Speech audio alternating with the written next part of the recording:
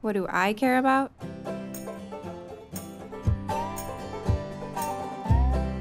I want to live in a community that has a past, present, and a future.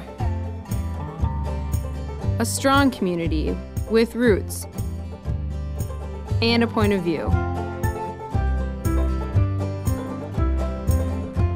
I care about the economy. If it's happy, I'm happy.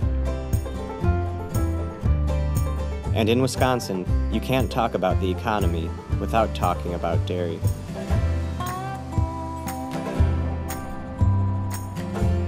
I care about what I eat, what's in it, where it comes from, and if it was made by people who care about the land and their animals. When given a choice, I'll pick the product that's been made or grown sustainably. After all, it's all about the future. In this day and age, there's just no excuse for people to not do whatever they can to conserve natural resources. I like knowing that my own actions can have a direct impact on our carbon footprint. And it's important to me that I belong to an industry that's committed to environmental stewardship. I care about preserving our beautiful countryside,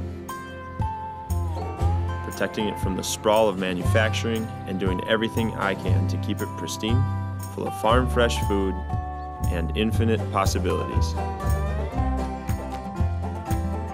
This is Wisconsin. This is America's Dairyland. This is my Dairyland.